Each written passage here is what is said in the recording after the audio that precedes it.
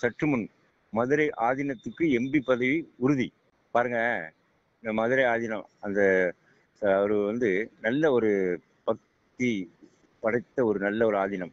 உண்மையிலே வந்து அவர் எப்பவுமே பாருங்க ஒரு நல்ல ஒரு ஆன்மீகத்தில் இருப்பார் நல்லதே பேசுவார். அப்படி வந்து பாருங்க மோதியை வந்து செஞ்சிருக்காரு செஞ்சிட்ட பிறகு இப்போ வந்து பேசிக்கிறாங்க. பா பாஜக வந்து பேசிக்கிறாங்க. அவர் அவருக்கு வந்து எம்பி பதவி கொடுத்தாலும் கொடுப்பாங்க.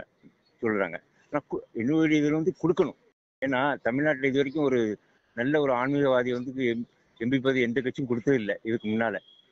ஆனால் பாருங்க இப்போ வந்து பிஜேபியில் வந்து கொடுத்தாங்கன்னா நல்லது. ஏன்னா தமிழ்நாட்டுக்கே நல்லது. ஏன்னா தமிழ்நாட்டில் நிறைய வந்து ஆன்மீகத்துக்கு எதிராக நிறைய விஷயங்கள் நடந்துட்டு இருக்கு ஒரு கூட்டமே அதுக்கு வேலை செய்யுது. அதை வந்து தடுக்கணும்னா இப்படி ஒரு நல்ல ஒரு மனிதருக்கு வந்து எம்பி பதவி கொடுத்தாங்கன்னா உண்மையிலேயே பக்தர்கள் வந்து பா பாராட்டுவாங்க. நம்ம தமிழ்நாட்டுக்கும் நல்லது. ஆன்மீகத்துக்கும் ஆன்மீக தமிழ்நாட்டுக்கு நல்லது. அதை கெடுக்கிறதுக்கு தான் நிறைய பேர் இப்போ சுற்றி வந்துட்டு இருக்காங்க. ஏன்னா ஆளுங்கட்சியும் அதான் செஞ்சுட்டு இருக்கு இப்போ. தமிழ்நாட்டில் உள்ள பக்தி அதாவது ஆன்மீகத்தை கெடுக்கிறதுக்கு தானே திமுக கட்சி உண்மையிலே? இதான் தமிழ்நாட்டு மக்களுக்கே தெரியும். பாருங்க. எதுவுமே நம்ம ஆன்மீகத்துக்கு எதிர்த்து தான் பேசுவாங்க அவங்க. அவங்க வந்து உண்மையிலே தமிழ்நாட்டுக்கு நல்லா செய்யறது எந்த காரணம்? அவங்களுக்கு மனசே வராது. மக்களை ஏமாத்துவாங்க. அது வந்து ஏமாத்தி நல்லா அவங்க மட்டும் சொல்லிட்டு அவங்க அவங்களுக்கு பின்னால் இருக்கணும் நல்லா செய்வாங்க. அவ்வளோதான் மற்றபடி தமிழ்நாட்டுக்கு ஒன்றுமே வந்து சேராது. அப்படி அதனால பாரதிய ஜனதா கட்சியில வந்து பேசிக்கிட்டு இருக்காங்க.